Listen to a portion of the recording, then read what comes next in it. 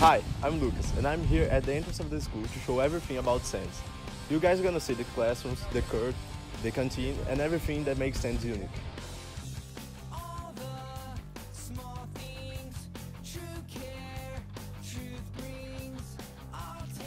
Every day, the school starts at 8.30 and it finishes at 2.45. On Wednesdays, it starts later, at 9.30, and it ends at the same hour as always.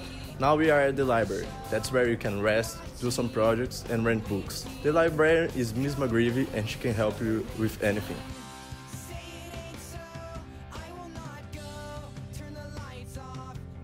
Here's the art class, flex arts and stuff like that may be a good place for you to spend your flex time here. The flex time is when you can have some time to work on your projects and homeworks. You can choose any class to work on it. Inside of Sands, we have a gym and a weight room where you can spend your time working out.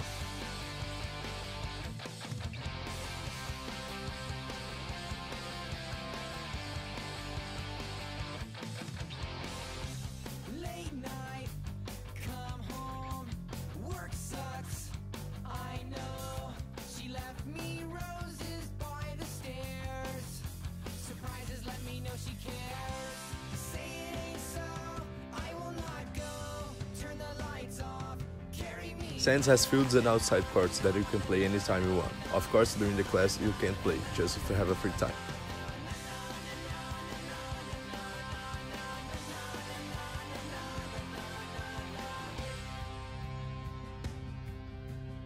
We have a lot of different classes to take. You can choose 8 of them.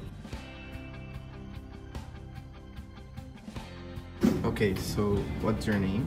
My name is Luca, Uh, how old are you? 18. How long have you been here since? It's been like one year already. Cool. Um, do you like studying here?